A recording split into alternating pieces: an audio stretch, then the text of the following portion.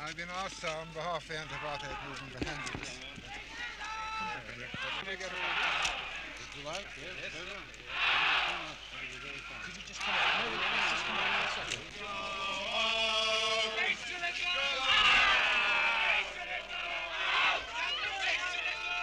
Uh, I want to associate myself with non-violent protest against this South African tour of an all-white team calling itself South Africa. And I felt I wanted to be here today. What sort of effect do you think a demonstration like this can have?